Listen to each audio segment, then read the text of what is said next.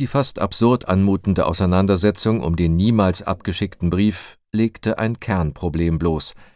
Die Reichsregierung glaubte, keine Machtmittel zu besitzen, um die Machthaber in München zur Raison zu bringen. Von einer Anrufung des Staatsgerichtshofes, wie sie Justizminister Radbruch vorschlug, versprachen sich weder Ebert noch Stresemann etwas. Einen Einsatz der Reichswehr hatte wiederum Gessler bereits am 30. September kategorisch abgelehnt. Eine Reichsexekution in Bayern mit Truppenmacht sei ausgeschlossen. Dass auf die Loyalität der Reichswehrführung in Bayern kein Verlass war, zeigte sich in diesen Tagen an einem weiteren spektakulären Vorfall.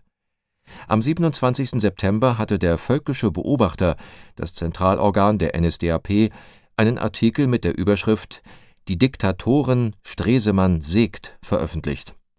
Darin wurden der Reichskanzler und der Chef der Heeresleitung scharf angegriffen, wobei auch der Hinweis, dass sie mit Frauen jüdischer Abstammung verheiratet waren, nicht fehlte.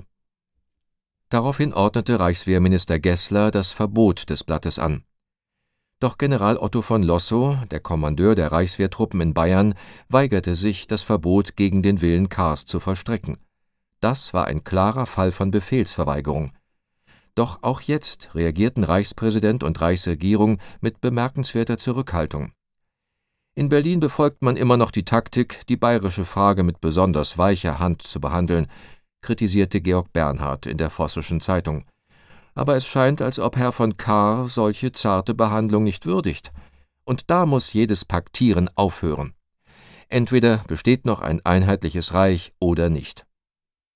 Es sollte noch Wochen dauern, ehe Ebert am 20. Oktober in seiner Eigenschaft als Oberbefehlshaber der Reichswehr die Amtsenthebung Lossos verfügte, eine Maßnahme, die K. umgehend damit beantwortete, dass er seinerseits Losso mit der Weiterführung des Kommandos über die Reichswehrkontingente in Bayern betraute